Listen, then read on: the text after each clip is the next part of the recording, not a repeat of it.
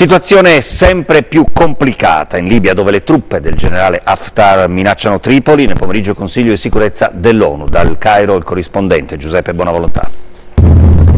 Gli uomini di Haftar, giunti a ovest anche via mare, sono stati respinti dalle forze della coalizione di Tripoli. Un centinaio di loro, con una quarantina di mezzi armati con mitragliatrici pesanti, sono stati catturati e arrestati dalle forze leali al premier Serraj alla periferia di Al-Zawiya. Ma è un fatto che in poche ore sono arrivati a una trentina di chilometri dalla capitale libica senza aver incontrato decise resistenze. Appello congiunto alle fazioni perché abbassino le armi e cerchino soluzioni condivise da Francia, Gran Bretagna, Stati Uniti, Emirati Arabi e Italia. Londra ha chiesto e ottenuto una convocazione urgente del Consiglio di sicurezza delle Nazioni Unite che si riunirà questa sera. Il segretario generale del Palazzo di Vetro Guterres in una conferenza stampa a Tripoli ha ribadito l'imprescindibilità del dialogo ma ha valutato impossibile, viste le condizioni attuali, realizzare la conferenza programmata dal 14 al 16 aprile a Gadames nel sud-ovest del paese. Oggi è a Bengasi per incontrare Haftar che ieri ha impartito l'ordine alle sue truppe